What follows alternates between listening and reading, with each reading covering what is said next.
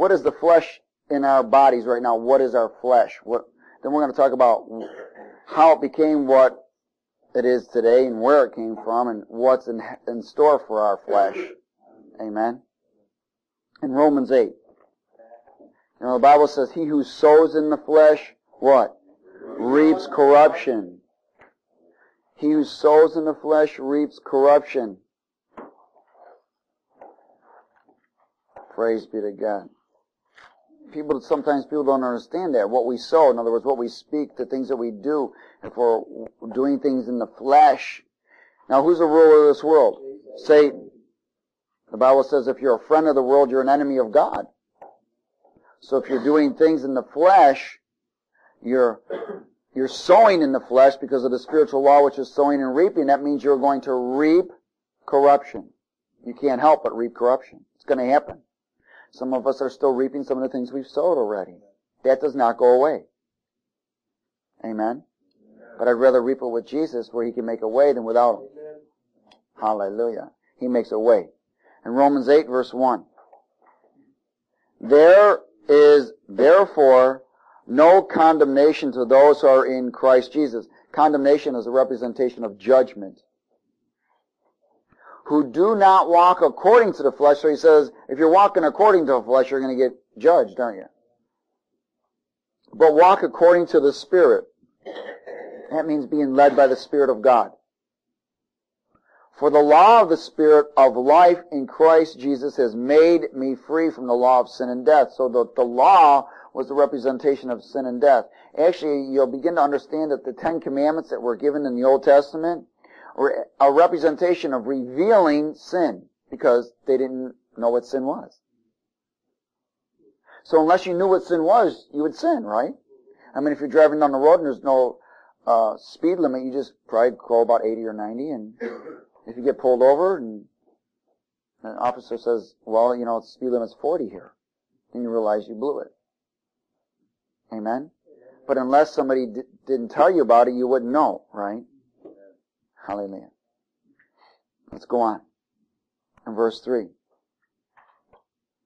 For what the law could not do in that it was weak through the flesh, God did by sending his own Son in the likeness of sinful flesh. On account of sin, he condemned sin in the flesh. Now, what is he saying? That in the law, even though that there was the Ten Commandments, people couldn't obey them. so they were doomed. Were, that's why they had sacrifices all the time of the blood, right? Okay, let's go on.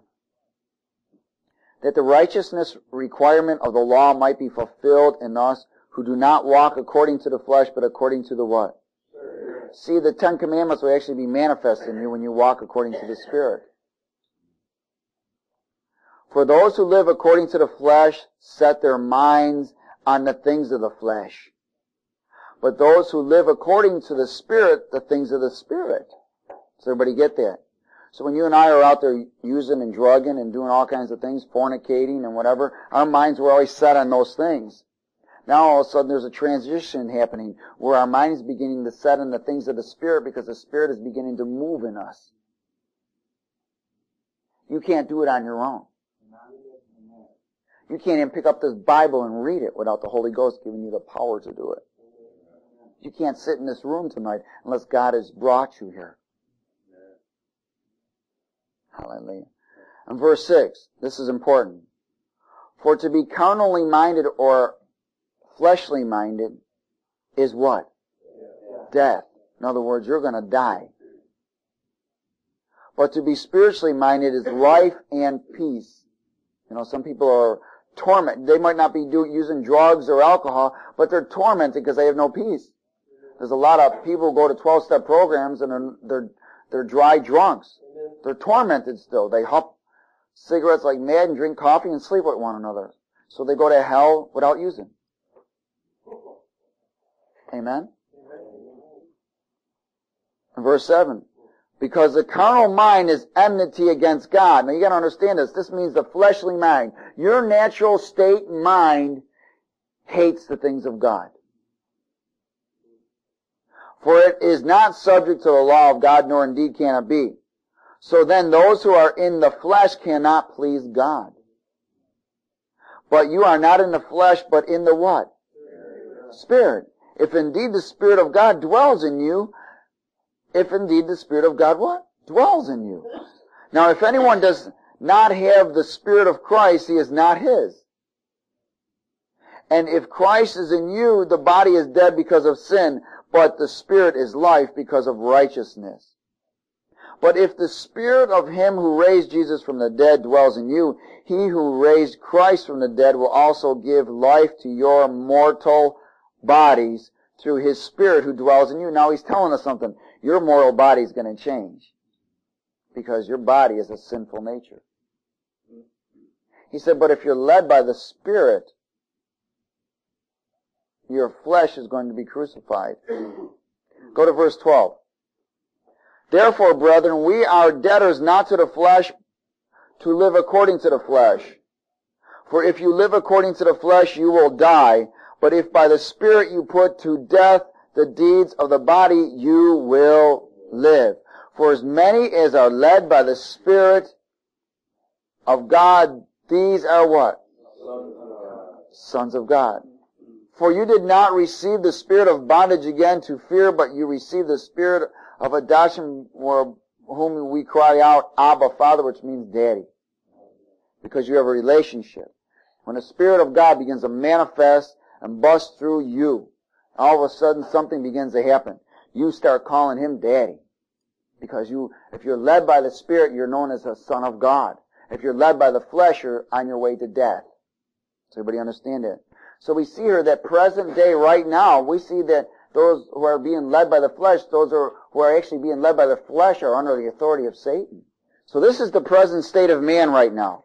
Galatians chapter 5 and verse 17. Now you gotta understand something. You and I are made up of three parts. We're made up of a spirit, a soul, and a body. A spirit, a soul, and a body. Now your body is the outward, right? That's known as your flesh. Your soul is made of three parts also. The mind, the emotions, and the will. The mind, the emotions, and the will. To write this down so you know. The mind, the emotions, and the will. Now you're made up of what? Three parts. Spirit, soul, and body. So you have a spirit man. Now God is spirit, right? So you want to commune with God in your spirit. Now your soul is your mind, your will, and your emotions. So those things need to be renewed, don't they? They need to be transferred. And your flesh, which is of the dust, needs to be crucified. In Galatians 5:17, let's read this now. For the flesh lusts against the spirit, and the spirit against the flesh. And these are contrary to one another, so that you do not do the things that you wish the things that you wish. Why? Because the flesh and the spirit are warring against one another. Does everybody understand that? The flesh does not want to do what the spirit wants to do. I feel an anointing in here. In verse 18. But if you are led, let's read this together. But if you are led by the Spirit, you are not under the law. Keep going. Now the works of the flesh are evident, which are adultery, fornication, uncleanliness, lewdness, idolatry. So, now, now sorcery means drugs. Amen. Hatred, contentions, jealousies, outbursts of wrath, selfish ambitions, dissensions, heresies, envy, murders, drunkenness, revelries, and the like, of which I tell you beforehand, just as I told you in time past that those who practice such things will not inherit the kingdom of God. Hello? So let me tell you something. That's the works of the flesh, isn't it? So if you're practicing those things, you're not going to inherit or enter the kingdom of God. These are works of the flesh. This is what the flesh does. Present day flesh. How many of y'all know people living in the flesh? Ephesians 2 verse 1 to 3. Is everybody there? Let's read it together. And he, um, and you he made alive who were dead in trespasses and sins, in which you once walked according to the course of this world, according to the prince of the power of air. Now, who is the prince of the power of air? Satan. Satan. The spirit who now works in the sons of disobedience, among whom also we all once conducted ourselves in the lust of our flesh, fulfilling the desires of the flesh and of the mind, and were by nature children of wrath, just as the others. So you and I were children of wrath. The wrath of what? The wrath of God. We are headed for the wrath of God. We're headed for eternal damnation. No in between. Amen. We see here that we are under the power of the prince. The word prince means originator. We're under the prince of the power of air. Did you ever notice that when you bite an apple, it turns brown? Everything's decaying, isn't it? Isn't it amazing that you were born to die? That's how not, well, that's not what it was originally intended to be. so everything that's coming in the world is going to die now because of what happened in the garden. Let's go to John 6, 63. So you and I are now born in darkness. Does everybody understand that? We're born in sin because of our flesh nature. Present day man, sin in his flesh. John 6 and verse 63. And I remember sometimes I'd be praying, I'd be, and I, I get a little foolish. And I'd start, man, I hate this flesh. Lord, I hate this flesh. Start slapping my arms. You flesh, get out of here. Die, flesh. Didn't realize beating my flesh wasn't going to do it. I had to be led by the Spirit to crucify it. Hallelujah. Jesus makes a profound statement here. It's powerful. In verse 63, and let's read this together. It is the Spirit who gives life. The flesh profits nothing. Your flesh and my flesh profit nothing. You know how many people are going to school and uh, they're getting all these rewards and all these trophies and all these certificates, and they're going to come before the Lord and say, "Lord, look what I did." And He says, "I didn't see nothing. I don't mean poop, unless it's for to bring glory to the Lord and expand His kingdom. Your purpose and my purpose, when we become a child of God, is to bring glory to His name and expand His kingdom, and to be willing to do whatever it takes and die to self because of what He's done for us and for who He is. Amen. So it says the Spirit gives life, and our flesh profits nothing. Nothing. You know how many people will go and work out six times a week, pumping iron and jogging and everything else. It didn't stop that demon of, of uh, cancer, did it?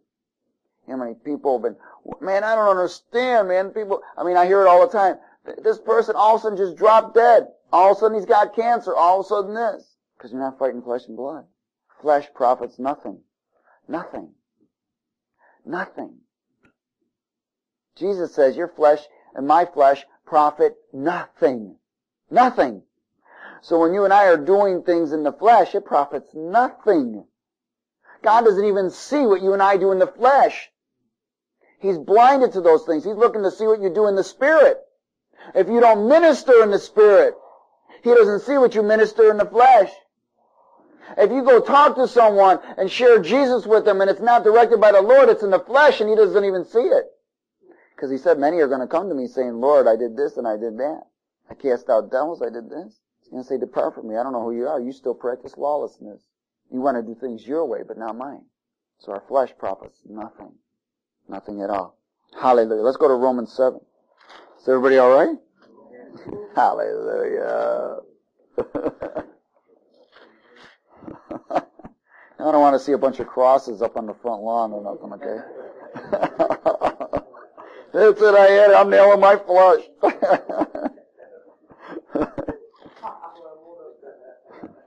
you do me first and I'll do you next.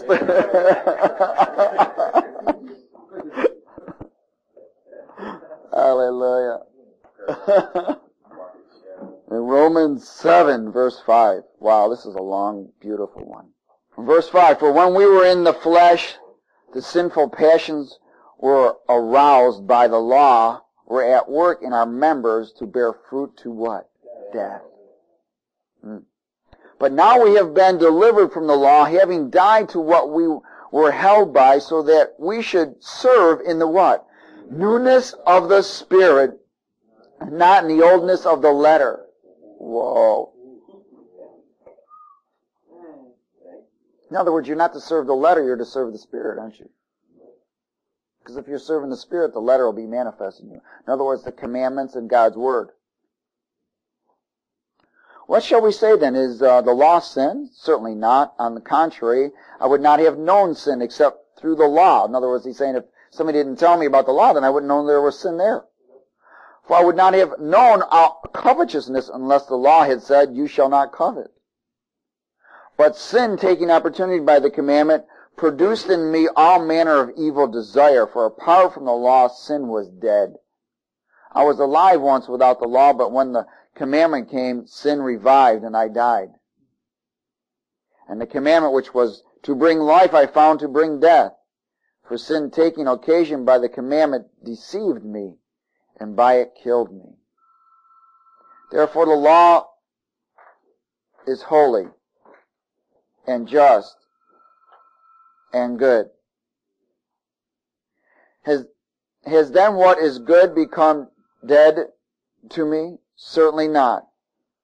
But sin, that it might appear sin, was producing death in me through what is good, so that sin through the commandment might become exceedingly sinful. For we know that the law is spiritual, but I am carnal, sold under sin. For what I am doing, I do not understand. Hello? Come on, listen to this. For what I am doing, I do not understand. For what I will to do, that I do not practice. But what I hate, that I do. If then I do what I will not to do, I agree with the law that it is good. But now it is no longer I who do it, but sin that dwells in me. So what's doing it? The sin that dwells in us. And verse 18, let's read this together. For I know that in me, that is, in my flesh, nothing good dwells. For to will is present with me, but how to perform what is good I did not find. For the good that I will to do, I do not do. But the evil I will not to do, that I practice. Now if I do what I will not to do, it is no longer I who do it, but sin that dwells in me. I find then a law that evil is present with me, the one who wills to do good.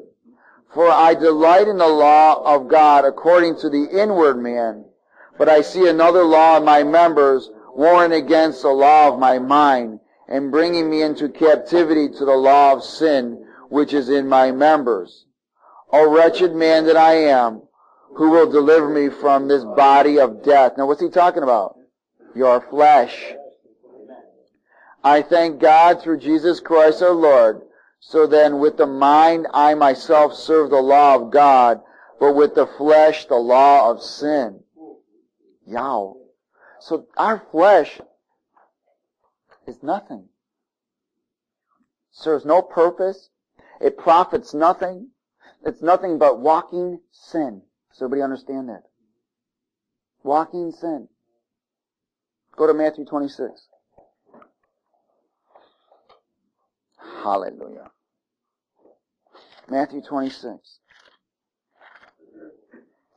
So Paul's going, man, you know, I, I don't want to do these things, but I do them. I find that there's sin in my members. In my members. Now, your members are your eyes, your ears, the things that you hear. Your members are your mind, your will, your soul, your emotions. These are your members. But we find that the sin in the flesh is affecting your soul, isn't it? Because it says it's contrary to the spirit. The spirit wants to do one thing, the flesh wants to do another, and the soul's in the middle which is your mind, your will, and your emotions. Being tugged. Did you ever see the old cartoons with a devil on one shoulder and an angel on the other going, you know, oh, which one do I listen to?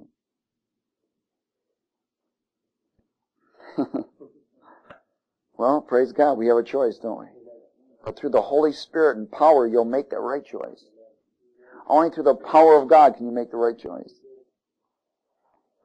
Psalm 26 and verse 38. I mean, uh, Matthew 26, sorry. Matthew 26. Is everybody there? And verse 38. Let's read it together.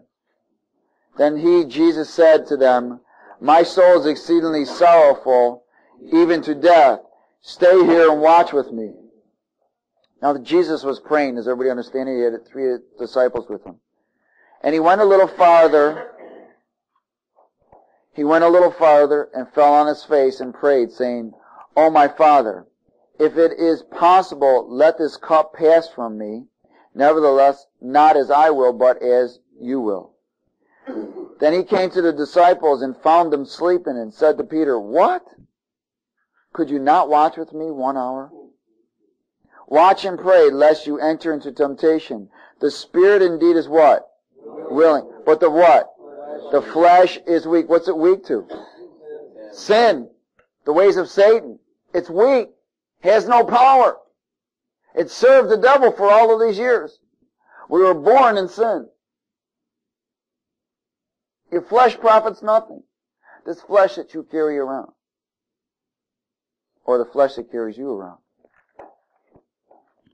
Now, let's go to the beginning on how this came about. Amen? Are you ready? To God be the glory. Genesis 1 1. I guess if you're going to go to the beginning, let's go to the beginning.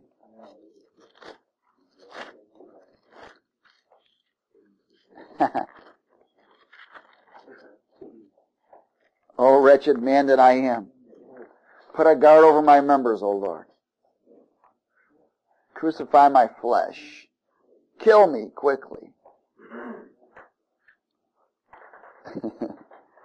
all those desires, all those thoughts, all those emotions, go in Jesus' name and renew in the Spirit. Genesis 1 1. In the beginning, God created what? The heavens and the earth. So what was created first? The heavens, the spiritual realm, right? The spirit, the spiritual realm. The heavens were created first. Amen? Now, you know, we've, we've gone through this already and we shared about how the original earth was perfect because God created original earth. Amen? Um, and we stated that the sons of God, known as angels, were inhabiting the earth in the original state before man was created.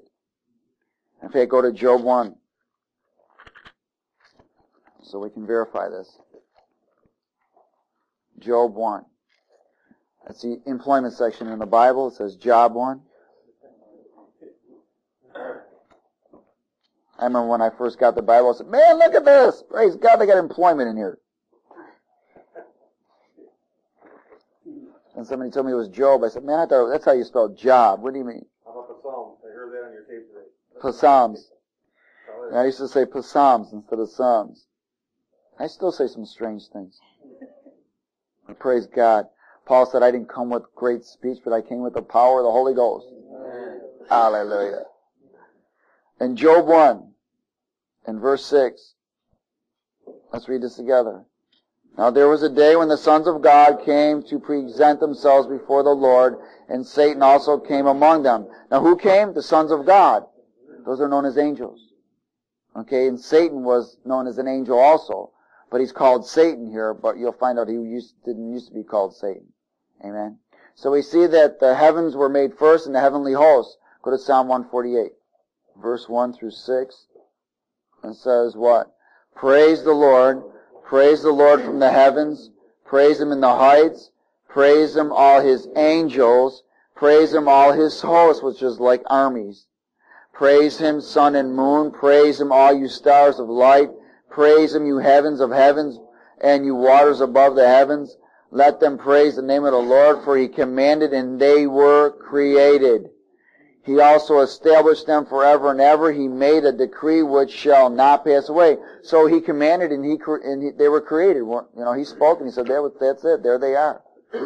So we see that the heavenly hosts, the angels, are known as sons of God. They inhabited the original earth And we know about Lucifer, and we'll talk about him here in a second. Now,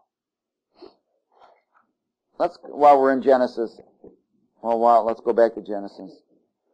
I want to go a little bit further. We see that God created heavenly hosts, right? He created angels. He commanded and they were created. Let's go back to Genesis 1.26. Now God creates the earth and he begins to inhabit the universe with plants and suns and the moon and the universe and all the other things. He, he did that, right? In verse 26, and God said, Let us make man in our image, according to our likeness. Let them have dominion over the fish of the sea, over the birds of the air, over the cattle, over all the earth, and over every creeping thing that creeps on the earth. So we see that he's creating Adam to have dominion over everything. So God created man in his own image. In the image of God, he created him, male and female. He created them. Now remember, when Adam was originally created, he was in the image and likeness of God. In Adam was male and female. So everybody get that? Because out of the rib came Eve. So Adam was created in the likeness and image of God because God is male, female, isn't he? He's no respecter of person. So Adam was created in the image and likeness of God. He was. In verse 28, then God blessed them and said to them, be fruitful and multiply, which was the blessing, wasn't it? Fill the earth and subdue it. He said, man, you got dominion over it. Fill the earth, you and the woman. Fill the earth. Take paradise and expand paradise. I've given you this. I've given you everything. Fill the earth, subdue it, have dominion over the fish, over the sea, over the birds of the air, and over every living thing that moves on the earth. In fact, we know that the Lord brought the animals to Adam, and Adam named them. So when he went wanted to go, um, you know, skiing in the water or whatever, he just called Moby Dick, and he got on and went surfing or whatever, right? I mean, he had dominion, didn't he? He talked. He had fellowship with the animals. Does everybody understand that? Because there was no division. They were one in the Spirit. So God created man and blessed him in his image and in his likeness, didn't he? Let's go down to Genesis 3. In verse 1. Now the serpent was the most cunning than any beast of the field which the Lord God had made. And he said to the woman, Has God indeed said that you shall not eat of the tree of the garden, of every tree of the garden? Now we know that the Lord told Adam and Eve not that they couldn't eat of every tree of the garden, right? Oh, well, just to verify this, let's back up a little bit. Um, in verse 16 in Genesis 2. Is everybody there? Let's read it together. Then the Lord God commanded the man, saying, Of every tree of the garden you may freely eat, but of the tree of the knowledge of good and evil you shall not eat, for in the day that you eat of it you shall what? You're gonna die. Okay. Now we find out that the serpent was there at the tree of the knowledge of good and evil, wasn't he? Now we know that the serpent was tempting Eve to eat of the tree, wasn't he? He wanted her to eat of it. And the woman said to the serpent, We may eat the fruit of the trees of the garden, but the fruit of the tree which is in the midst of the garden, God has said, You shall not eat it, nor shall you what? Touch it, lest you die. Okay. Then the serpent said to the woman, You shall, you will not surely die. So God calls him a, I mean, the serpent called what? God a liar, didn't he? For God knows that in the day you eat of it, your eyes will be open and you will be like God, knowing good and evil. So of course the serpent's got a lot of promises, doesn't he? He makes a lot of promises to us out there. I remember getting high, we used to hear a lot of promises. We'd be getting buzzed, drinking and partying. Yeah, we'd have all kinds of good swelling words. Man, I'm gonna do this and I'm gonna do that. Yeah, you're gonna do this and we're gonna make all kinds of money. The next morning we we woke up and we didn't have two nickels to rub together. Oh, we heard a lot of voice for the serpent, man. He gave us a lot of promises. So when, when the woman saw that the tree was good for food, verse 6, that it was pleasant to the eyes and the tree desirable to make one wise, she took of its fruit and ate. She also gave to her husband with her, and he ate. So the serpent deceived Eve, and then she gave it to her husband. Then the eyes of both of them were opened, and they knew that they were naked, and they sewed fig leaves together and made themselves coverings. Why did they sew fig leaves and make themselves coverings? Because they are already covered with the glory of God. They had a glorified body. They weren't, they didn't have a conscience. They were, didn't have fear. They didn't have um, worry. They didn't have shame. They didn't have guilt. They didn't have any of that stuff. Their spirit, their soul, and their body were one. So everybody understand it. The Bible says a house divided cannot stand. And the serpent wanted to divide their house. If he could divide their house, they would fall. God created Adam and Eve to live eternally, not to die. Amen? So they had a glorified body. They were perfect. They knew no sin until the serpent convinced them and conned them. Adam was the ruler of the world. And then the serpent took his office. Does everybody get it? Now that's why the world is under the rule of the serpent. Except for when you come to Jesus. Now, they heard the voice of the Lord God walking in the garden of the cool day. Now you gotta understand something. If God was fellowshipping with you face to face in this kind of glory, your flesh couldn't stand it today. So they had to have glorified bodies. Does everybody understand it? And I'm going to show you that they didn't have blood in their bodies either. To God be the glory. Because a glorified body doesn't need blood. Hallelujah. Watch this. So they sowed the fig leaves, right? Because they committed sin. Trying to cover their own sin. Didn't we all have a tendency to justify our own sin? Yeah, well, she made me do it. And they hid in the voice of the Lord walking in the garden in the cool of the day, and Adam and his wife hid themselves from the presence of the Lord God among the trees of the garden. Then the Lord God called to Adam and said, Where are you? And, and so he said, Here, I heard your voice in the garden, and I was afraid, because I was naked and I hid myself. And he said, Who told you that? You were naked. Have you eaten from the tree of which I commanded you that you should not eat? Then the man said, The woman, she made me do it. The woman whom you gave to me, with me, she gave me of the tree and I ate. And the Lord said to the woman, What is this you have done? The woman said, The serpent deceived me. It sounds like, you know, evil's already happened. And I ate. So the Lord said to the serpent, Because you have done this, you are cursed more than all cattle and more than every beast of the field. On your belly you shall go. So we know that the serpent was upright. Amen? The serpent was upright. Because now he says you must go on your belly. You shall eat dust all the days of your life, and what are we made of? Amen. And I will put enmity, which means hatred, between you and the woman. And between your seed and what? Her seed. He shall bruise your head and you shall bruise his heel. And to the woman he says, I will greatly multiply your sorrow and your conception. So we know that she was going to have more than one child. Is everybody with me? And that her, and this was going to be a, a different way than what God had planned for conception. And in pain you shall bring forth children, and your desire shall be for your husband, and he shall rule over you. Now, everything changed this was judgment put on Adam and Eve. Does everybody understand that? Because why? Because they had obeyed the devil, the serpent. Alright. Then to Adam he said, because you have heeded the voice of your wife and have eaten from the tree of which I commanded you, you shall not eat of. Cursed is the ground for your sake, and in toil you shall eat of it all the days of your life.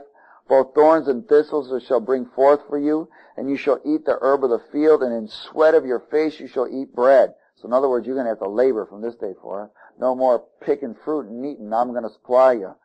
Now you're going to have to do it your own. In the sweat of your face you shall eat bread till you return to the ground, for out of it you were taken, for dust you are, and to dust you shall return. Now you got to understand something. Because we have this fallen nature, your dust, your flesh wants to return to the dust. Why? It's cursed. And we'll get more to it. And Adam called his wife named Eve because she was the mother of what? All living. So your mother and my mother is Eve. That's where it all started from. Does everybody get it? Then the, also for Adam and his wife, the Lord God made tunics of skin and what? Clothed them. Now I want you to understand something. In the garden, in the garden, uh,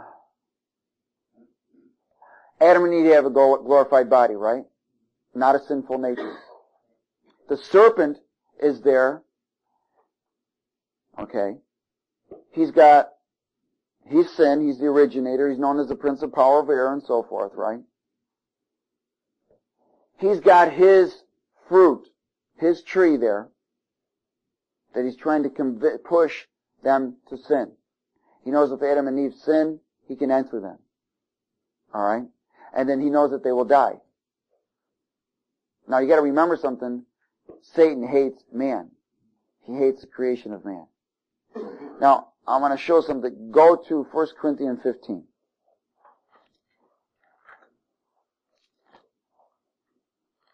First Corinthians 15. You're saying, what does this got to do with the flesh? I'm going to show you. Hallelujah. 1 Corinthians 15.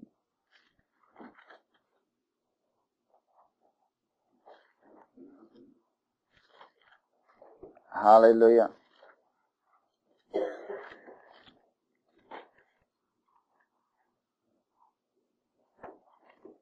Is everybody there? In verse 39.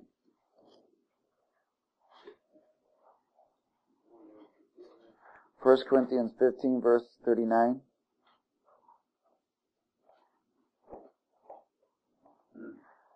Let's read this together. All flesh is not the same flesh, but there is one kind of flesh of men, another flesh of animals, another of fish, and another of birds.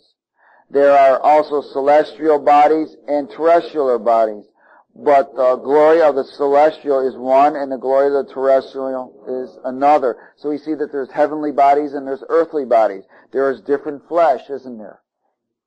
Now in the Garden of Eden, when God created man, and Adam and Eve, man, their flesh was glorified flesh. Does everybody understand that? It was not of blood like what you and I are accustomed to. The animals are different. They were like what we are now. Does everybody understand that? Having blood. Okay? Because at the, at that period of time, animals do not have a spirit. Does everybody understand that? Okay. Man has a spirit. And the life of the flesh was in the spirit of the man. Your, the life, the glorified body was supplied by the spirit. The animal was supplied by the blood. Does everybody understand that? I guess I better go a little bit further here. Go to Leviticus, Leviticus 7, 17.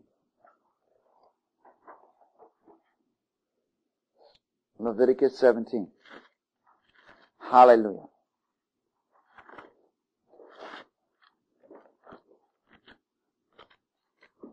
Leviticus 17. Is everybody all right?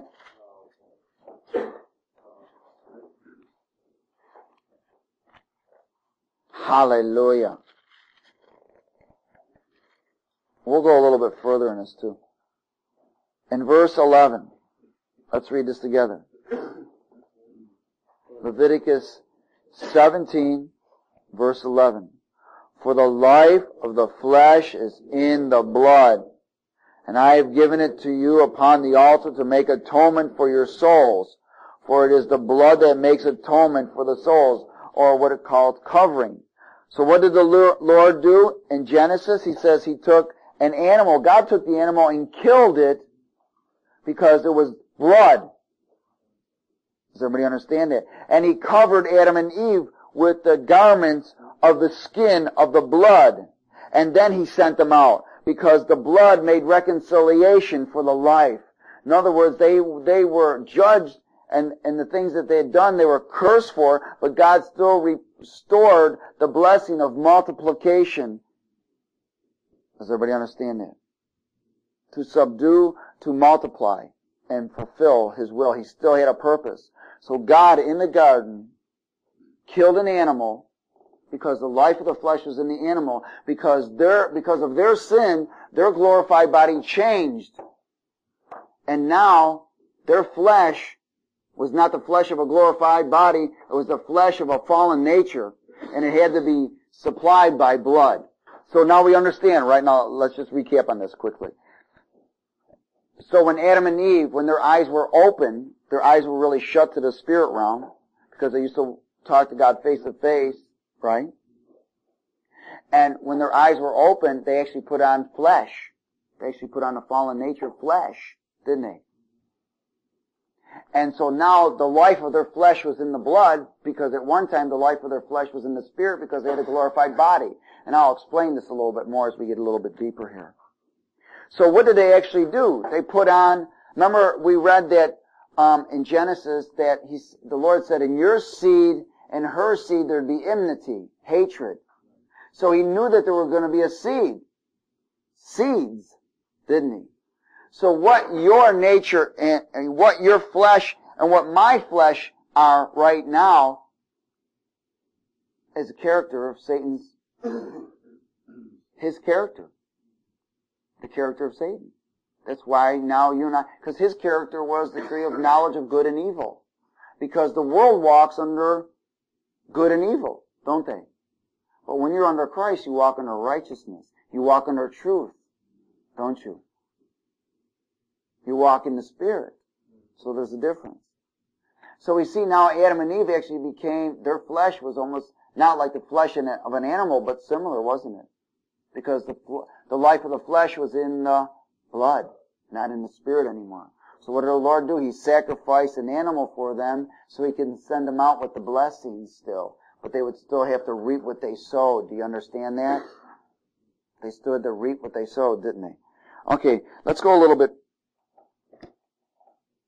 Uh, just, just, just to show something here. I'm going to go to uh, Ezekiel 28. We better back up a little bit. Ezekiel 28.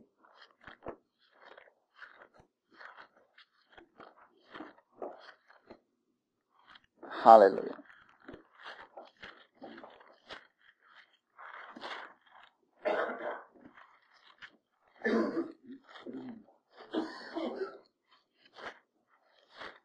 Ezekiel chapter 28 and uh, verse 11. Ezekiel 28 verse 11. We're talking about Lucifer here. Okay? Because I want to go back. Remember the angels were created, right? the heavenly host, and the original earth, and we've gone over this before, but just to recap on this. Um, in verse 12, verse 11, Moreover, the word of the Lord came to me, saying, Son of man, take a lamentation up for the king of Tyre, and say to him, Thus says the Lord God. And we know that the king of Tyre was a representation of Lucifer. You are the seal of perfection, full of wisdom and perfect in beauty.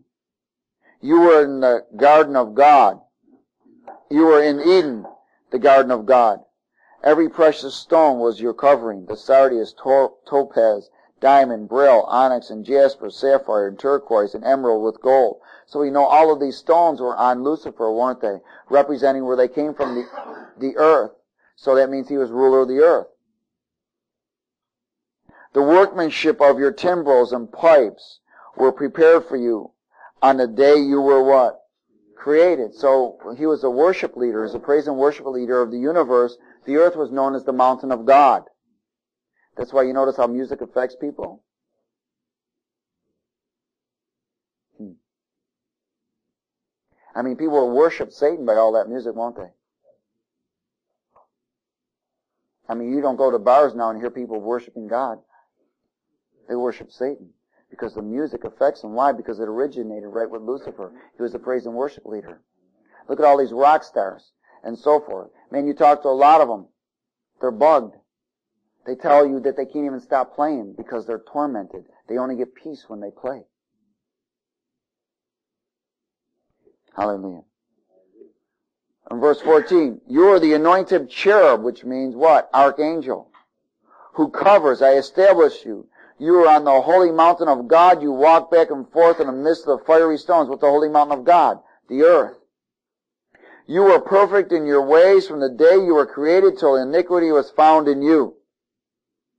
Now here's Lucifer, the praise and worship leader of the earth. The sons of God inhabited the earth, right? Okay. Let's go to Isaiah 14.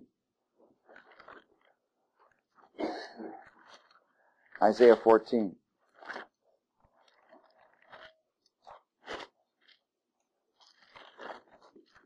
Hallelujah. 14. Isaiah 14. Man, we could start a choir of coffin tonight.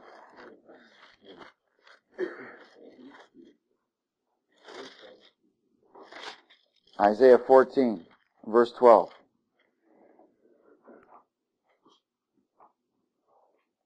Let's read this together.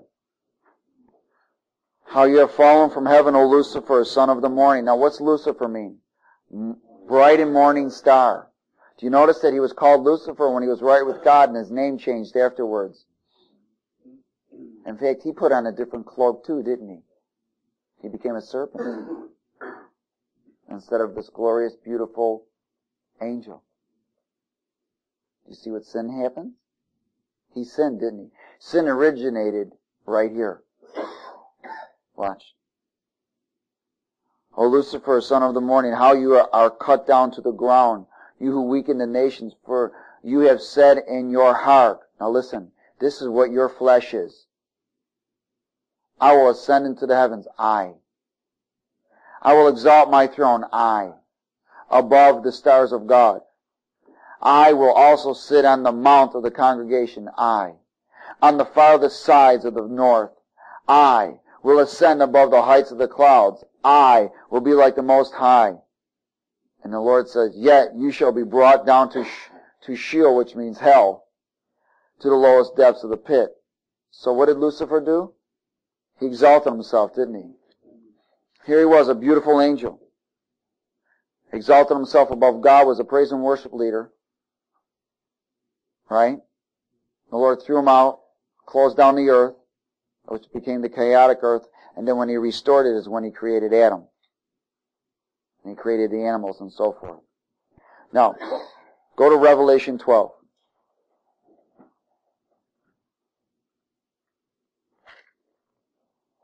Revelation 12.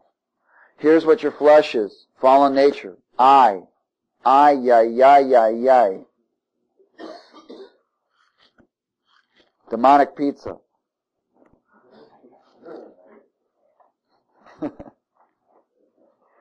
Revelation 12. Praise be to God. Hallelujah.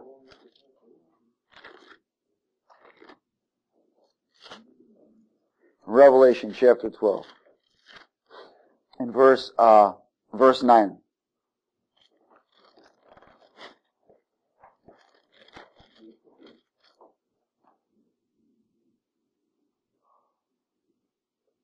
Is everybody there? Let's read it together. So the great dragon was cast out, that serpent of old called the devil and Satan, who deceives the whole world. He was cast to the earth, and his angels were cast with him. So we see his name got changed, didn't he? Hallelujah. And it says, and his angels were, that were with him. Now I want to show you what his angels that are with him, with him are. Go to Ephesians 6.12. Ephesians 6.12.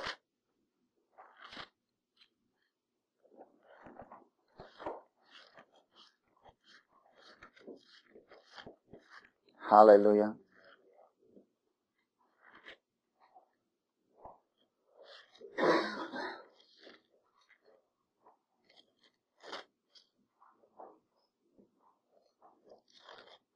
Hallelujah.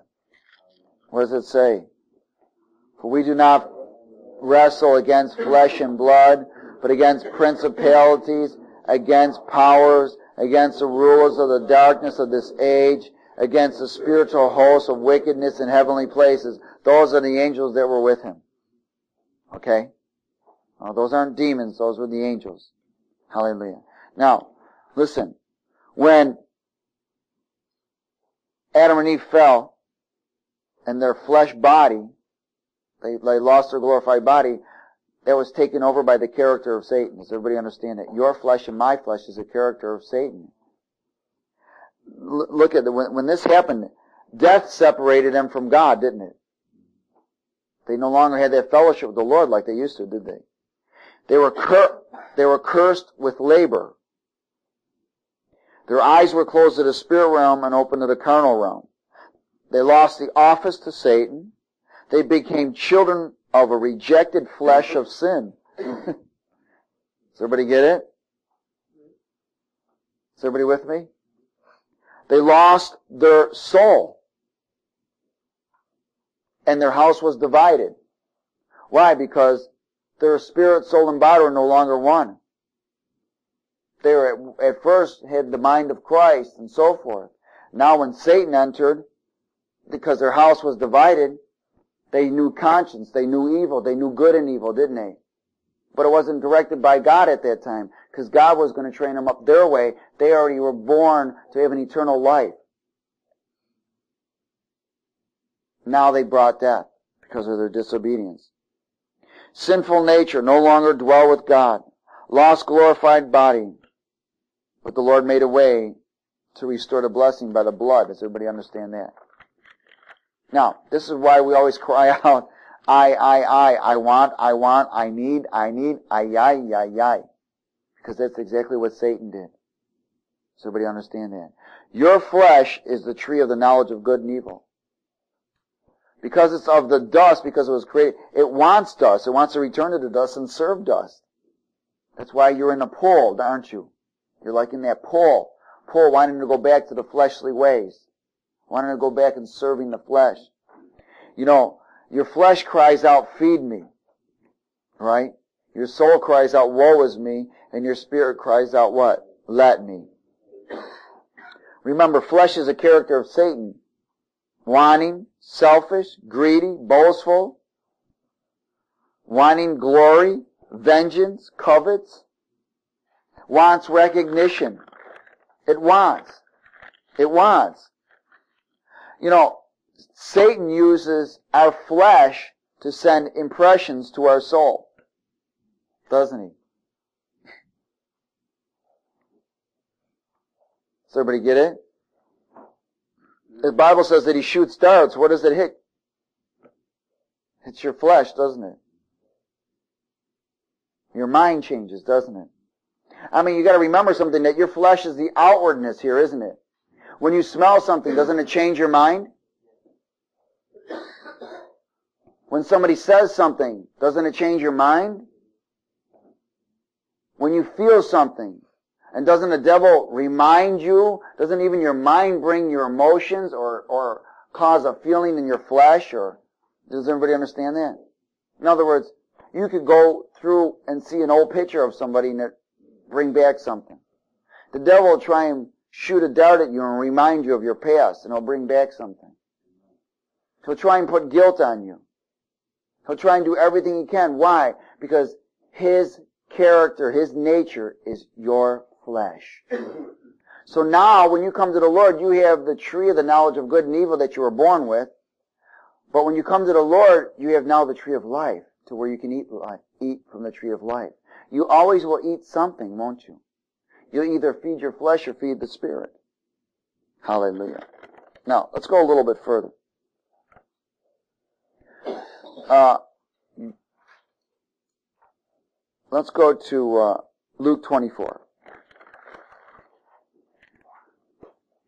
I, I want to share with you just a little bit of to bring understanding about the glorified body.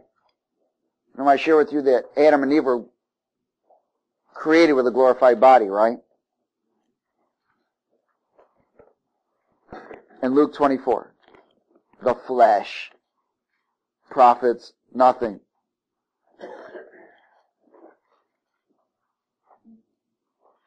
You know, I, uh, you realize that even a child, because it's born with that fallen nature, wants, wants, wants.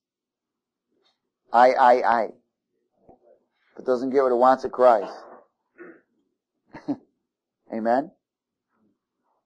And then as we get older, we get worse.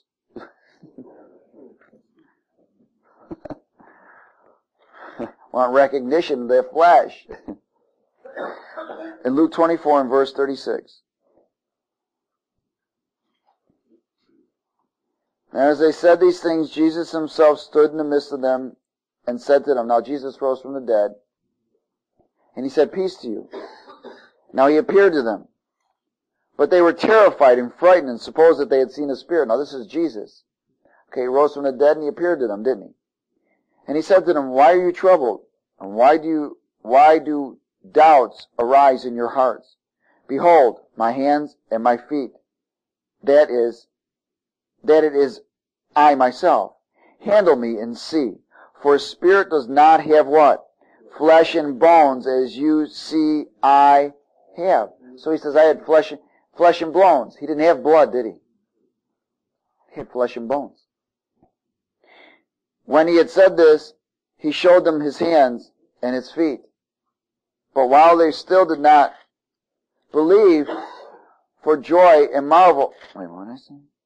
But while they still did not believe for joy and marveled, he said to them, have you any food? So now he's really going to blow their minds.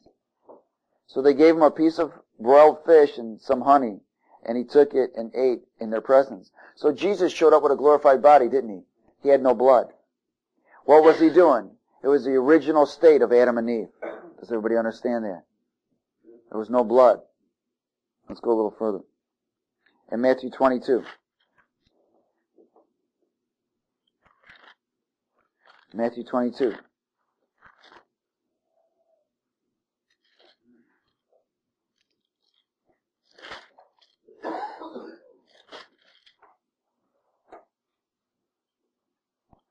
Hallelujah. And Matthew 22 and verse 30.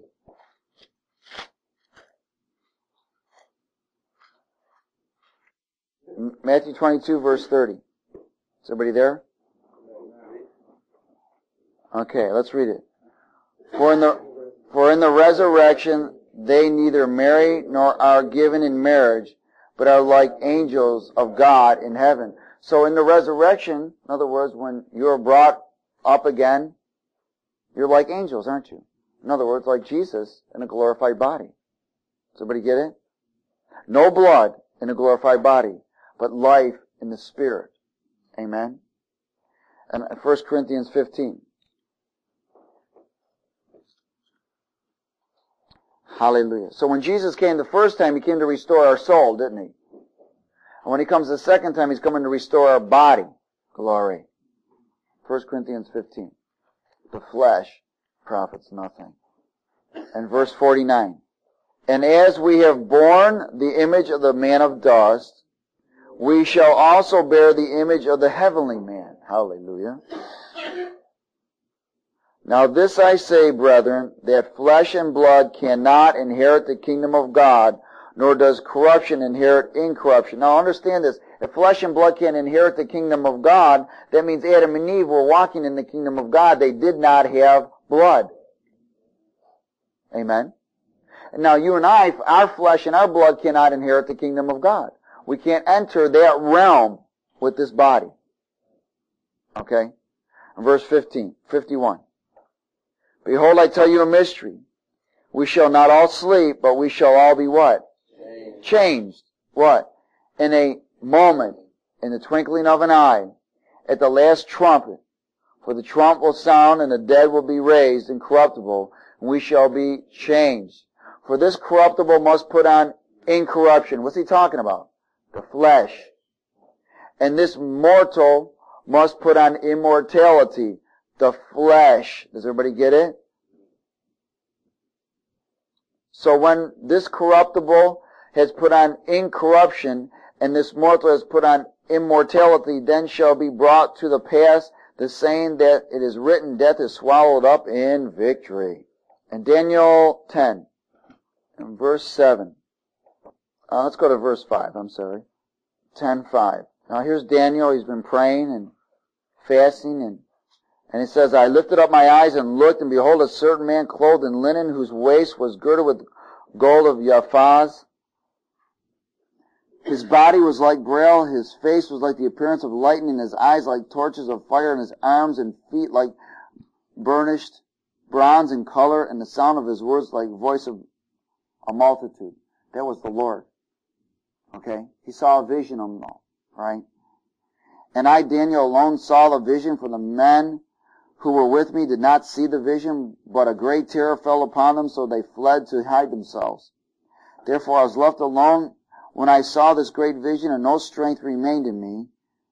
For my vigor was turned to frailty in me, and I retained no strength. Yet I heard the sound of his words, and while I heard the sound of his words, I was in a deep sleep on my face, with my face to the ground. In other words, even though he was in the vision, the Lord showed up in this vision. But to him it was a vision, wasn't it?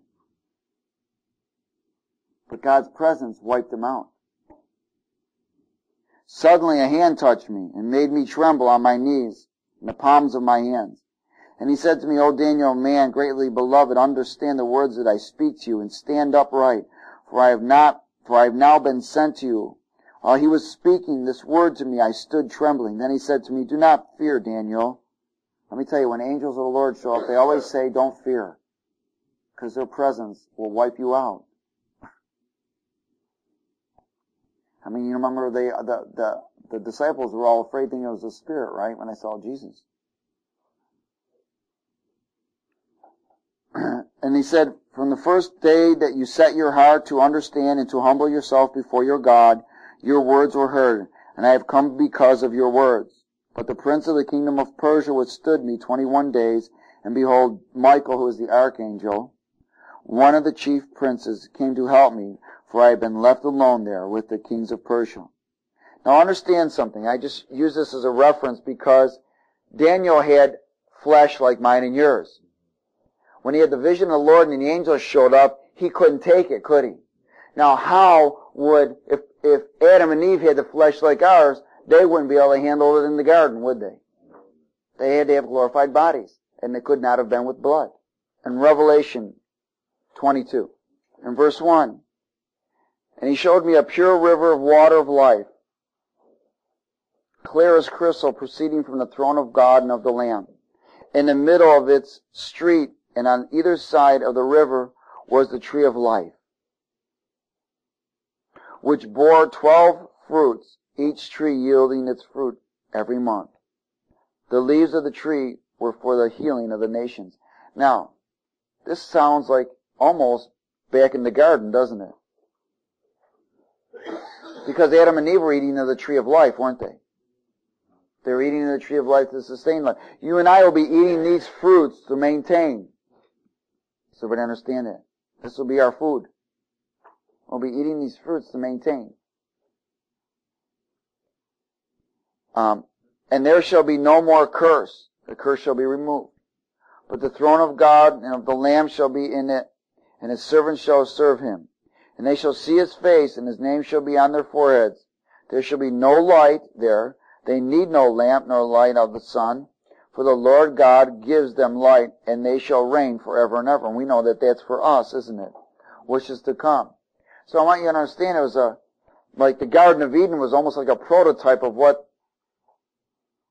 how it was going to be in, in the new heaven and the new earth, wasn't it? Because in its, in its original state, it was like this. In its original state, the earth was perfect and beautiful. The sons of God were inhabiting it, the angels. And then when Lucifer rebelled and the Lord removed him from the, the earth, and he shut down the earth, and, and it was the chaotic earth, and then God restored the earth, and he created man. So you gotta understand that Lucifer, who became Satan, hates man because God replaced him. Everybody get it? God replaced Lucifer. He replaced what he did. Amen? So Lucifer hates us. Now, um, so we know that Jesus came the first time to restore our soul, and the second coming is known as the rapture, to restore our bodies. All right? Turn to Romans 8. I want to share this with you just quickly.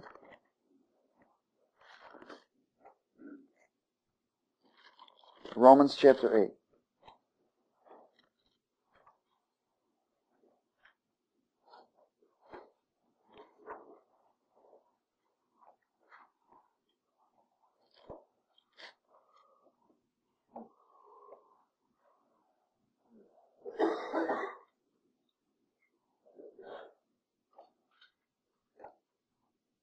Is everybody there? Um, in verse 22. 22 and 23.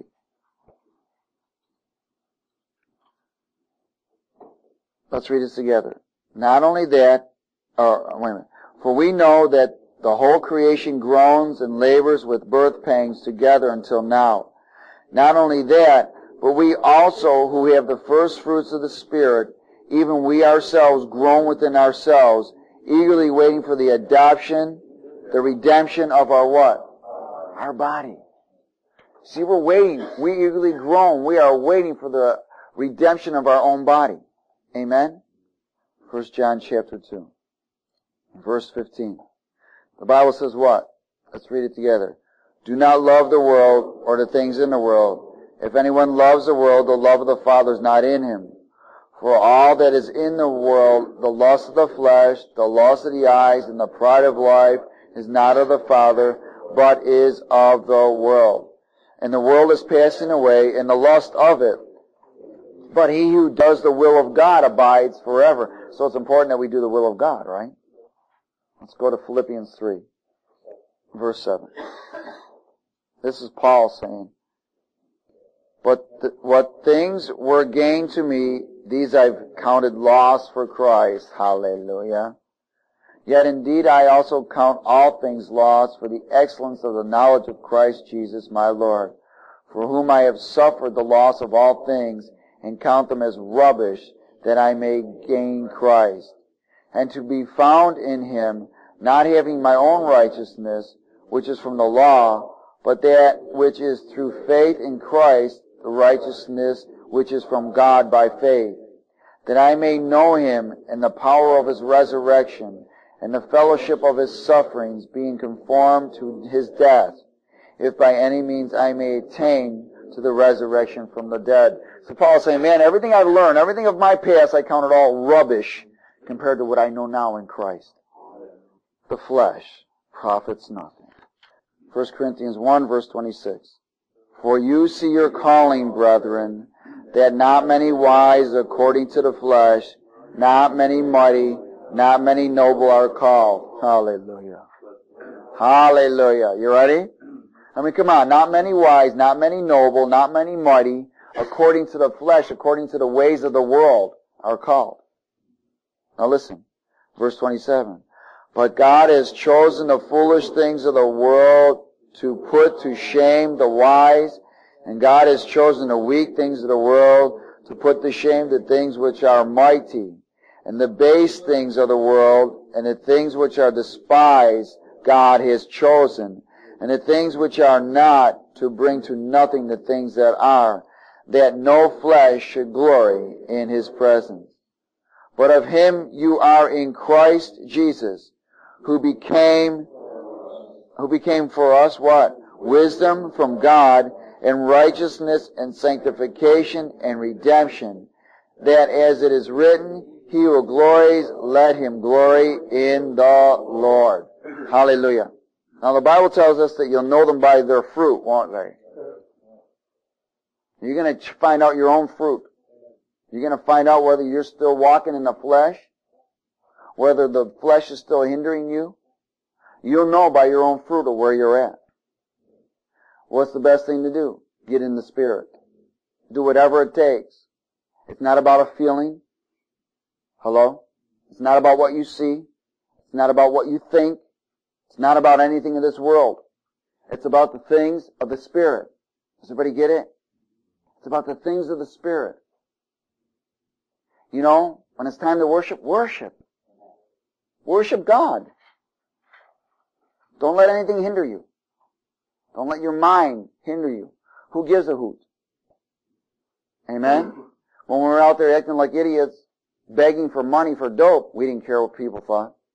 We didn't care who we were with, whatever. Prostituting ourselves and all kinds of other stuff that we were doing out there. We didn't give a hoot. As long as our flesh got fed. Or those demons got fed, huh? so don't give a hoot anymore. Get foolish for Christ. Because He's rescued every single one of us. The only way you're going to take dominion over your flesh, because your flesh is of a fallen nature, is if your spirit man is stronger. Your soul must be renewed. The Bible tells us, do not be conformed to this world, but be transformed by the renewing of your mind. And that's what the Word does. And the Spirit brings you understanding. So you get in the Spirit as quick as you can every day. Those deliverance prayers, those daily confession. Um, you gotta hit those, man. When you're being troubled, you pull them out and you hit them. So you can crucify that flesh, you can take dominion. You can't fight. Believe me, I used to go in prayer and beat my flesh. Man, get down. It didn't work. Just got up more. I was a baby and foolish. Amen. But now, praise God. Be careful what you speak. Be careful what you hear. Be careful of the things. Why? Because you don't want to feed your flesh. You want to starve your flesh. You want to starve it so you can take dominion over it. You know, if you put food out for an ant, a cat, that cat will come and all of its buddies. If you don't put the food out no more, it'll finally leave. You know, we pick spirits up. If you feed it, those spirits get fed by your emotions. Those spirits get fed. If the devil can arouse your flesh up for you to feed what you feel and so forth in your flesh, he can access a demon to you. And we wonder why we get troubled. We wonder why we worry, frightened, all these other things that happen. We wonder why we begin to act the way we shouldn't act down the road. We tell by our own fruits. We wonder why we can't be submissive. Because the Spirit's there. Amen? Because if you're truly Christ's child, you're dead to your ways. If Jesus Christ is truly your Lord, and you said, take my life, I give it to you, then don't take it back. Because He paid the price for me and you, that our flesh could be crucified with His flesh. But if you're going to be led by your flesh, your flesh is alive and the wages of your flesh is death. So let's be led by the Spirit which crucifies our flesh. We must be willing to do whatever it takes every day. That's what the Lord says, deny yourself. You know what He's saying? Deny your flesh. Deny your flesh and then you can pick up the cross. If you don't deny your flesh, you're going to pick up the cross of Satan, his way. And he's going to crucify you his way. Amen. And I'd rather be crucified with Christ. And to God be the glory. And everybody said,